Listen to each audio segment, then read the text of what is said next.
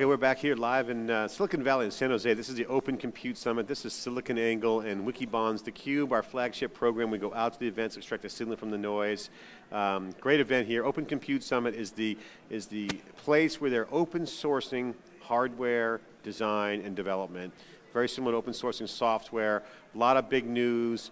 Uh, open Compute was really born out of the whole Facebook revolution because they were so unique in their requirements they had to have a unique infrastructure that they built themselves and buying hundreds of thousands of servers. Amazon uh, Web Services in a similar boat. They built their own servers. Google assembles their own data centers. This new trend is going to change the world. I'm John Furrier with Dave Vellante for our wrap-up segment. Dave, first want to ask you, um, great set of interviews here. Um, great news, one highlight of the show, you're up on stage this morning during the opening keynote doing a panel with George Slessman of I.O., Merck Pharmaceuticals, and the um, executive director, Colin Crawford, um, of Open Compute Foundation.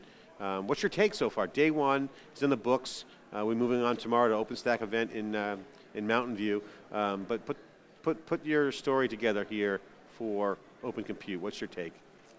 I mean, I still come back to Amazon. You just mentioned Amazon. It's Amazon's world, and we just happen to live in it, right? The, the, the world wants to replicate the Amazon public cloud, and I think a lot of the activity here is designed to do that. So um, the big question is, I, I, feel, I was saying off camera earlier, I feel like there's a, a spray, and not so much a prey, but you know, they're saying spray and pray.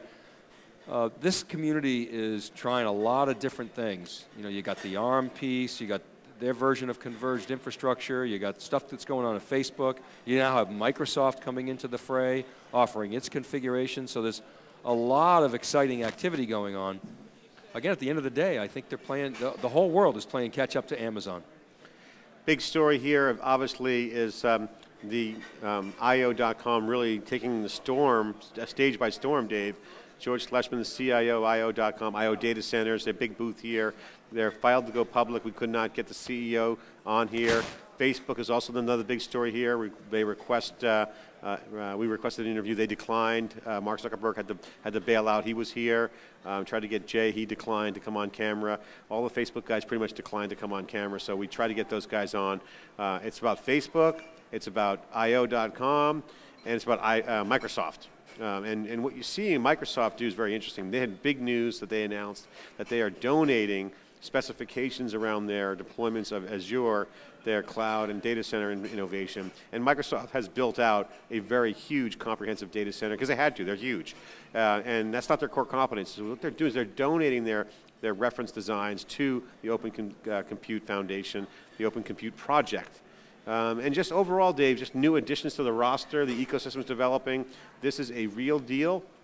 And to me, it's very similar to the Homebrew Computer Club. I bring that up because just this Saturday, I was at the Macintosh 30th celebration anniversary of 1984. The Macintosh, the big evolution, changed the game in the personal computer industry. I believe, Dave, that we are seeing a homebrew moment going mainstream for the data center. That is the, now the parts, the freedom to build their own hardware, having that elusive dream at their fingertips like the personal computer was, having that mainframe in a, in a, in a small case. That's what's happening here. I think it's a well, big opportunity. I think, you, you know, you've got to, in order to, again, coming back to competing with Amazon, you got to take the hardware handcuffs off. You got to be able to create a situation where the infrastructure can run any software. It's soft, software-led. We've been talking about that now for quite some time.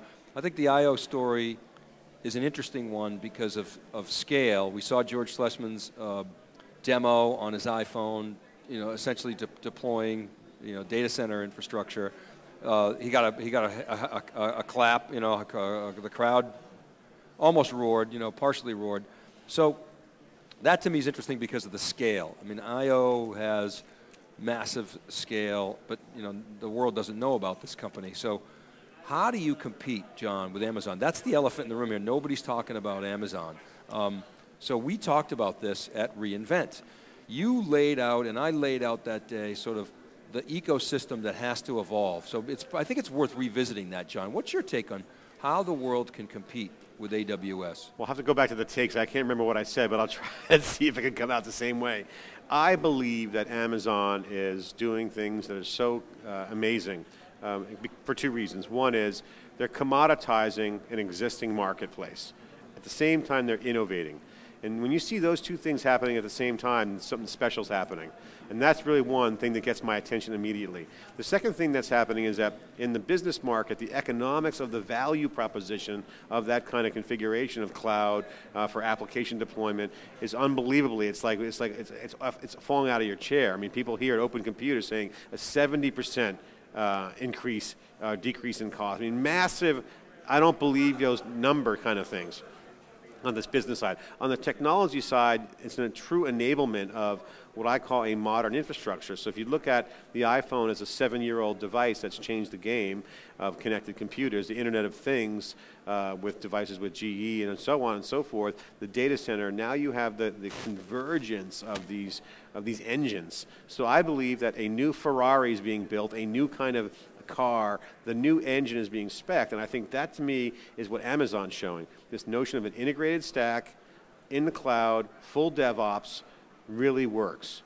Now, that works for Amazon, I think, but that's a, that's a guiding principle, and I think you're seeing the incumbent folks take advantage of that and say, hey, I can do that and do a little bit more because Amazon's not truly ready for the enterprise. So to me, I think Amazon, stake in the ground and what they're doing absolutely has changed the game. If you look at what IBM's doing with selling off their low-end servers, selling off some other assets, and look at what's going on in cloud with VMware Pivotal and uh, OpenStack, you're seeing an alternative to Amazon appear. And that alternative is Open Compute and OpenStack. I think those two come together, okay, more than anything else, more than VMware, more than Pivotal, more than EMC, possibly. EMC's got the commercial footprint. Can the organic homebrew data center club truly make the game changing? Can they do it from a scope standpoint? Are they broad enough and deep enough? We'll see. And I think that's ultimately the question that I have. Only question I have in my mind is how fast can they move? How broad? How deep? And, and can they move with the market? And that's going to be the challenge. If not, then someone else will pick it up. So I think you're right on, John. That's that, that's that white space in the enterprise that everybody's going after. Um, it's like it's like to get the playoffs. You got AWS, you got OCP and OpenStack, you got IBM, HP, Oracle, you know Microsoft now in the mix with with with OCP. You need scale. You need a data center OS. You need a development platform. You got to have an ecosystem. Um, I think OpenStack clearly plays a big part in that. You need apps. And as you said, you need an integrated stack with open APIs. And that's how this community attacks the white space in the enterprise. So there's always room for others, right? Amazon by no means has this mopped up, but very clearly they're racing faster than anybody. And I think a lot of the things that we're seeing here are in response to some of the trends that Amazon has set. Here's some of the top stories I'd like to share with the folks out there. Obviously, in our own commentary, we were obviously at the keynote. Dave was moderating a panel. Obviously, top news to me is Microsoft's participation. Definitely. Game changing. We were just talking off camera with David Floyer, who's all over this. Microsoft declined to come on the cube, so we'll get them next time. Well, and I think uh, just to add, we were talking, talking about Amazon, that changes the game because OCP, you know, according to, according to Amazon's own words, didn't have enough configurations for us right? We needed more. Now, I don't expect Amazon's going to hop on OCP, but Microsoft makes that this platform much more competitive. Okay, so that's Microsoft. we we can come back to that if you'd like. It sounds like you want to jump in on Microsoft. No, I just did. No, I'm happy to. Good. I think Microsoft needs to do this, and I think you know, I think Microsoft is. I, I think this. I think Microsoft. I've said it on the NPR, Dave. Ballmer's last stand. He's still the CEO. You know that, right? He's still there. He's not, he's not gone yet. Um, his last stand, earnings were good, last earnings. They were amazing. They blew everyone away. They're, they're sure dead, aren't they? Billions of dollars in profit, all that stuff. So Microsoft news here is critical. Second big piece, Dave, I want to highlight that's newsworthy that no one's reported on, we will right, right now, is that the culture of DevOps is moving up and down the stack down to the network layer. Cumulus was on here earlier. We had the two networking companies. We had um, uh, Sanjay's company on Pl uh, Pluribus Networks. That culture of innovations here, that's a big part of the story here at OpenStack, I mean Open Compute Summit, and that's key. And three, ARM. The ARM movement is here, and it's coming in the enterprise. The notion of software and hardware, DevOps being blurred is gone. That's happening down at the chip level. What Open Compute represents to me is full DevOps hardware type marketplace. And those, that's the big storylines. In terms of being reported on the internet, our, our social media dashboard uh, from CrowdChat says uh, the top story is obviously the live streaming that's going on here, the cube and the keynotes. Um, the top story really from data center knowledge is uh, the most shared in our network. Open Compute saved $1.2 billion over three years. Um, big top story. Um, our story is, is, trending. That's the story about the homebrew, uh, no hardware. What's it called? Uh, it's called uh, the New Homebrew Club. That's that's trending from Kristen Nicole from SiliconANGLE. Um, hardware is irrelevant. Freedom reigns. That's very popular right now. Certainly getting some momentum. Other top stories are is the ARM 64-bit from AMD, really huge, big story, and uh, and just the ecosystem. And, and, and finally, to put the cherry on top, Mark Zuckerberg showed up. And that was really a, a surprise and, and, and, very notable, Dave. Mark Zuckerberg was on stage with Tim O'Reilly, CUBE alumni, many times. We've interviewed CUBE, him on the Cube. And I think the Zuckerberg presence truly talks about this DevOps culture going down to the hardware level. Because Zuckerberg isn't here just doing PR. He's proud. He's saying, hey, Facebook we built it for ourselves. Now we're sharing it with the world. Now, certainly he's got his business agenda to spread the love about Facebook and minimize the bad PR they've been getting about people, quote, leaving Facebook, which that's like saying Microsoft's going under. Had record earnings. Uh, Facebook's not going anywhere, but I think Mark Zuckerberg here highlights the curiosity of the application guys. And George Slessman said it on stage in your panel application will dictate the direction of the data center. Clearly, that's going to happen, and I think Zuckerberg's presence reflects that. I want to talk about ARM. Can we come back to that? Sure. So, I've been, been thinking about this, talking to some people here. ARM has won in mobile. Can we agree on that? It's over. Yes. I mean, volumes are there. Now, the question is can they replicate that success in the enterprise? Can ARM do what Intel did back in the 80s and 90s? Can they get a foothold and then expand? I think, I think Intel's screwed right now. I mean, I got to be really bummed for Intel because I think Intel has opportunity in this area to kick some serious, serious ass in this. And so what I would say is that I think Intel can get back into the game heavily by just being aggressive and winning the arm in the enterprise. They have to win that battle. No doubt in my mind that they have to win. So I think Intel, it's a challenge and an opportunity, Dave, but I think Intel seriously has to win this. So I was, I, was, I, I agree. I, I, was having this discussion with Floyer, and he and, and he agrees, uh, um, and he's written about this that it's over in the, in mobile.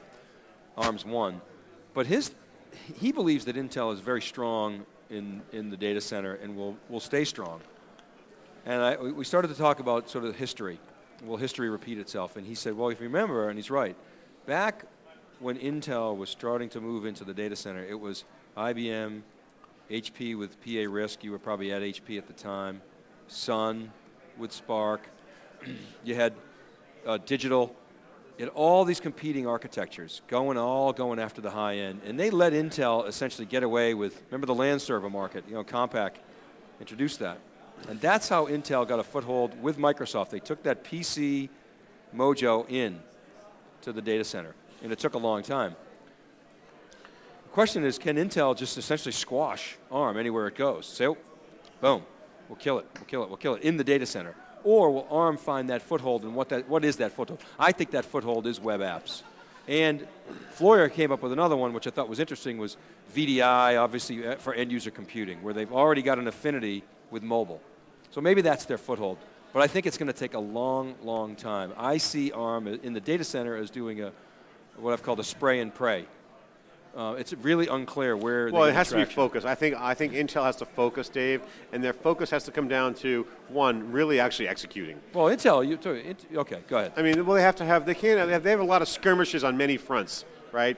Um, so, but I think the enterprise they need to own heavily. Uh, But their ecosystem in the data center is very, very Intel solid. has right? muscle, right? Intel, Intel can squash anyone with like a bug. It's just at will. So let's just put put it right out there, right? Intel, They're the head of the family, and they got all the neighborhoods covered. Intel, they're on my they're on my list. I love Intel, obviously, but it's all it's, it's all about how they focus, right? I mean, if Intel looks at something long enough and just starts marching down that path, it's game over. They're going to win. They got to have the technology, and they got to be not afraid to eat their own, meaning cannibalizing a little bit of earnings and then doing the right thing. So this comes down to classic innovator's dilemma, Dave. And this is why incumbents get disrupted. Either they execute or they don't, or they become, if they don't get out from the next wave, they become driftwood. So the big right? question for me, John, uh, coming out of OCP Summit, this is my first OCP Summit, is how much of the market are they going after? Are they, you know, me, I like to talk about TAM, I like to talk about segmentation. The TAM is huge, right? We know that. It's half a billion, maybe it's a trillion. Uh, um, oh, sorry, half a billion. It's 500 billion, maybe a trillion. But is OCP positioned to get that fat middle of that TAM? I, I don't know yet. Um, trying to figure that out. Uh, certainly, Microsoft helps because Microsoft can allow the OCP community to go after many, many more workloads. Uh, but prior to the Microsoft deal, I was sort of concerned about that. I, I still think it's early days. Um, I think that the potential is enormous, uh, but I think a lot more work has to be done in the ecosystem, and I think this event is an example of that. Well, this is theCUBE. We're here uh, covering in-depth the Open Compute Summit. And in summary, I'd just say this is an innovation environment. The innovation strategy is very clear. Bring open source to hardware, and I think that's what they're doing. The traction is, is significant this year. Um, ecosystems developing, big players like Microsoft contributing more and, con and contributing. The architecture is good. We talked to the to Colin Crawford. They have a good foundation. This, to me, Cole Crawford. I called him Colin before too. Oh, okay. Colin Crawford's somebody else we've had in the cube. Oh, he We're doesn't getting- keep it's just all blending to four Mike years. Crawford's, of cube it's like. Cubes. We're going to be senile by the time we're done with this. yeah, but Dave, so, so, so the, the notion that what's under the hood is being retooled in real time, it's a reset, like we talked earlier. Reset of hardware. It's going to enable the software-defined trend across the board, cloud, on-premise, Internet of Things, application, orchestration, all aspect of the software innovation strategies were going to be impacted by the physical equipment and physical architectures. The, what's on the bare metal, what's on the devices, everything's disrupted. Everything's impacted. Nest thermostats down the road for Google, all this is happening right now. This is why I like it as the home, home, homebrew computer club in a modern era. If, if they were alive today, all these guys were still tinkering around, they'd be here tinkering around with this silicon and creating their own own chips, their own silicon. So to me, that's the big story.